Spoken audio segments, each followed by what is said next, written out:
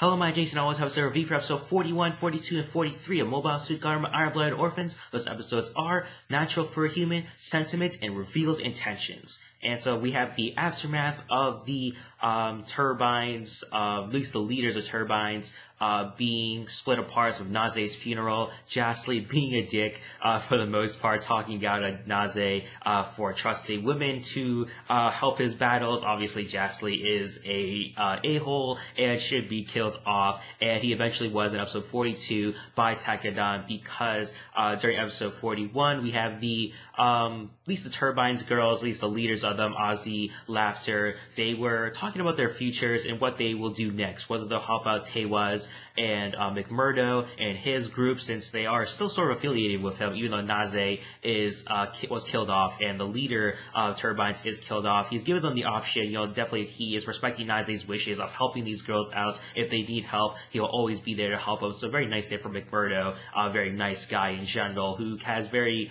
um, moments where he can be uh, cynical when he wants to be, but definitely very caring towards people who are loyal to him. Very interesting uh, insight towards him because he talks about this Tekkadan in episode 42 as well, where he sees them as a very useless organization, which is very understandable because he doesn't, they don't really do any jobs for him for the most part. They, we see some things here and there, but still, this would look like they do um, the same types of jobs as Naze did uh, for him, for Teiwaz. Uh, but he does see them as very loyal, and definitely loyalty is very key, and we see those relationships uh, really come to fruition when characters are very loyal to each other. They are rewarded, or sometimes their loyalty is blinded uh, from the true intentions of characters, like how Gaelio was betrayed by um, um, McGillis due to their loyalty, at least his loyalty towards him, because he felt like they were actually friends, but however, that was not the case, since McGillis had other intentions in mind. But as the death flags were being put up for Lafter and Akihiro, especially with their relationship growing even closer and closer,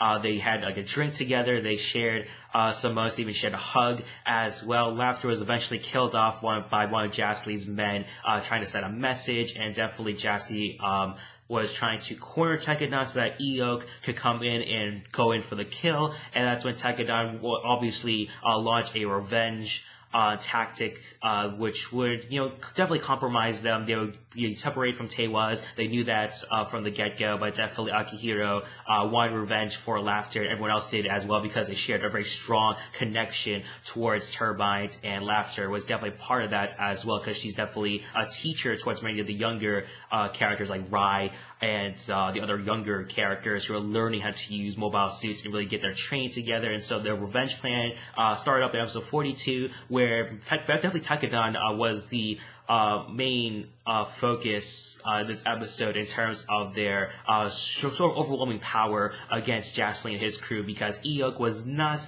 part of the battle. Uh, they were betrayed as well because the lack of loyalty that Jasley showed towards Teiwaz was um, being uh, yes, it was it did come to fruition basically because uh, to McMurdo called off Iok having a deal done with Rustal. You know, everything would be sort of brushed off to the side. No one would get in trouble. No one's beefing uh, within, within each other with uh, Gjallarhorn and Teiwaz. And that's why Jasley is left alone to where Mika can kill him off uh, before Jasley can try to, you know, talk his way out of the situation. And at the end of that episode, uh, McGillis starts off his coup in within Ta- uh, Gjallarhorn, and Tekkadan will be part of that coup as well. And even Kudelia is left out of the situation as well. Very uh, a little bit heartbroken. It seems like you know she has a person that she cares about within uh, Takeda, and she felt she was part of the family. I thought so too. I thought she was part of the family. Uh, whenever uh, Orga talks about family, it seems like uh, Kudelia would be involved in that as well. They've been through a thick and thin, been through a lot of situations together. You would think she'd be part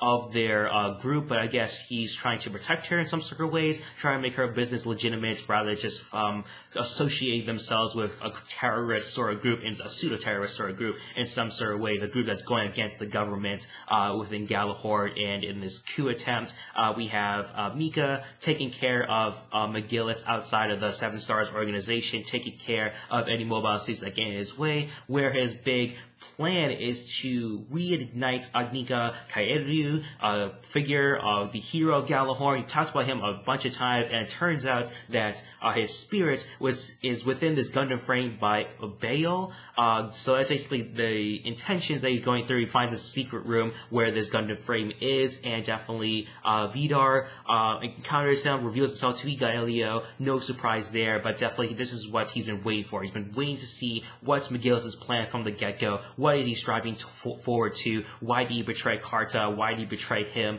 as well? And very interesting plot twist. I thought be just an average battle between uh, Gaelio and Mika, and also with McGillis involved as well as a third party, but Ein is involved in this battle as well as a system within his Gundam frame where he can ignite uh, Ein's brain using at least working together in some sort of ways. Uh, Ein's getting his revenge as well, where he can use Ein's brain to activate the full capabilities of the Alaya uh, system, where he can basically become become as strong as Barbatos and really ignite uh, the past battle from Edmonton as well within Mika. And so definitely a very um, one of the few times we get to see Mika on the ropes and really struggle in a battle and very uh, interesting to see that as well. Um, definitely, uh, Vidar makes his escape before, uh, at least after, um, McGillis gets into uh, the Gundam frame, Gundam Bael, and makes his proclamation that this is the symbol of their coup and that he is reigniting Gjallarhorn to what it used to be under uh, Agnika Kaieru.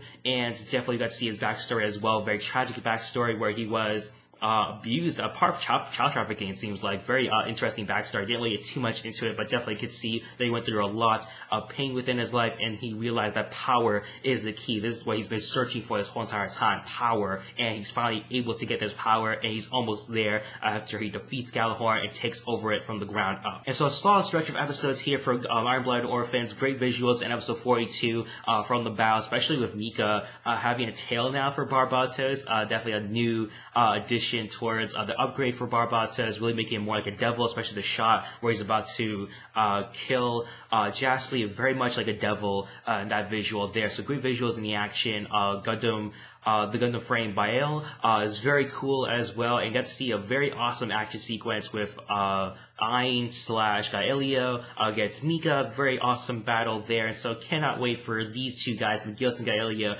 to have a um, a proper one-on-one battle because definitely they're building up towards that. The ending really built that up. I don't really care what's going on with Tekkadan. That's how much they built this up. I don't really care about what's going on with Mika, Orga, or everyone else in Tekkadan. I really want to see this battle. It's really effective, uh, showing these two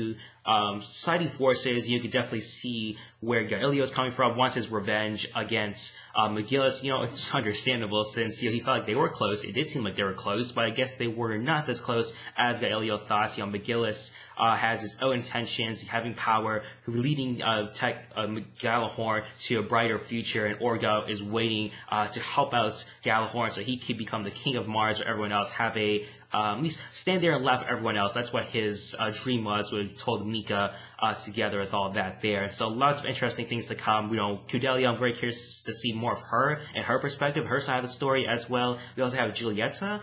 Um, definitely she's having conversations with the other girl who seems to know everything about Vidar and whether she'll use the um, the Isla Kishni uh, system uh, to help her cause and help her help out Rustal and his uh, pursuits against uh, the coup is very interesting as well because she wants to get stronger herself, but definitely looks like you have to use the Kishni system in order to get stronger and really uh, push your capabilities, but there is a cost towards that, towards the brain. You saw that Mika can barely walk right now, and there are ways around it using another person's brain. It'd be pretty funny if Giulietta used Iok's brain in order to help her cause. That'd be very uh, interesting and funny at the same time. So for a for this stretch of episodes, giving uh, three of them a four out of five. Again, great visuals throughout. Uh, very curious to see where the story goes from here because uh, we're almost close uh, to the end of Iron Blood Orphans for season two. So definitely a lot of storylines going on with Giulietta and Kudelia as more subplots, uh, Gaelio and McGillis serving as the main plots, along with uh, Orga and Tekkadan as well, and what their